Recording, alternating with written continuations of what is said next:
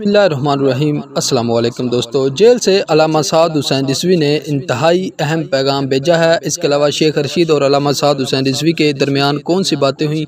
मुकम्मल तफसील से आपको बताते हैं। नाजरीन, सबसे पहले आपको बताते हैं कि तहरीक लबैक पाकिस्तान का नमूस से रिसालत मार्च इस वक्त मुरीद के में मौजूद है और लाखों की तादाद में वहाँ पर कारकुनान भी मौजूद हैं और तहरीक लबैक पाकिस्तान की मजलस शुरा भी वहाँ पर मौजूद है।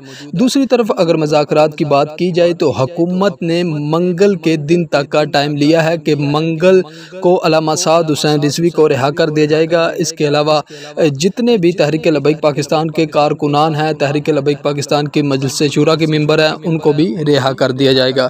दूसरी तरफ़ शेख रशीद को अलामा साद हुसैन रिजवी का कहना था कि अगर आप हमारी कोई भी बात नहीं मान सकते, हम नमूस रिसालत पर कोई भी कंप्रोमाइज़ नहीं करेंगे।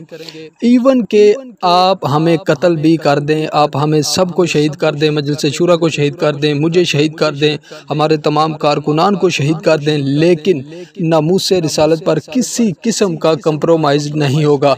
तो नाजरीन, अब देखना यह है कि आगे मंगल को क्या होने जा रहा है। ये मुकम्मल तफसील आपको बता दी गई है। चैनल को सब्सक्राइब करें, वीडियो को लाइक करें। अल्लाह हाफि